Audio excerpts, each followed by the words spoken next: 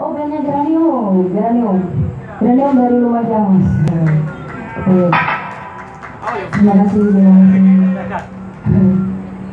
Jarang-jarang ya, Geranium main di Jember dan ini terima kasih banget buat Ceklok udah memberikan tempat buat Geranium berada di sini sekarang.